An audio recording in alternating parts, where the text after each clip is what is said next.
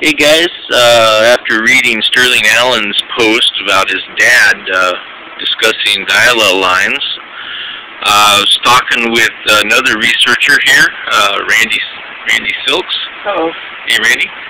And Randy's been doing some magnetic research uh, following uh, curved lines, and uh, he's developed a feel for those. And I said, hey, I wonder if you can feel diallel lines.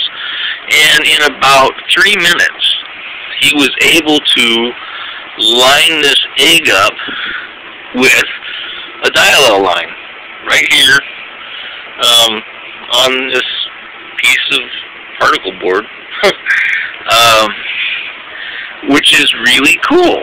I've never except for the videos that Sterling Allan put, I've never seen an egg balancing on its end unless you stick some salt under it or something.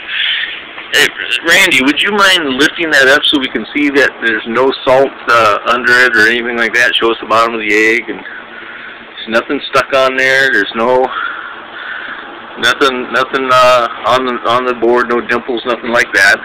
It's just some phenomenon of a gravimetric line that's here. It's it's just you have to find it. You feel it.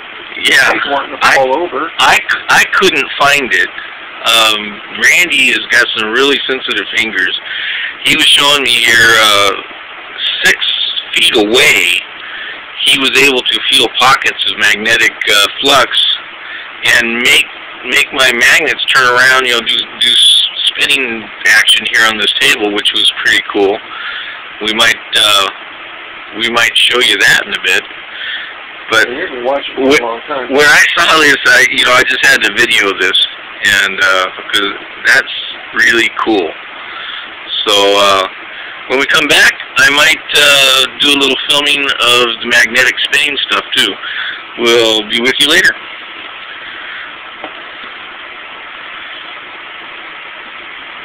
You gonna get it? I feel it again. You feel it again? Well, maybe I'll just keep rolling then. Well, you're going to have to cut it and slice it. yeah, I'll cut it and slice it. Skeptics really love that. I think there's some skeptics that think the Earth is still flat. Whee! It doesn't work under pressure, right? It's like getting your kids to perform when they can play a musical instrument yeah. Play great and everything, but then, hey, you get your friends out to play, and they can't play for you. Nerves get tense, muscles get tense.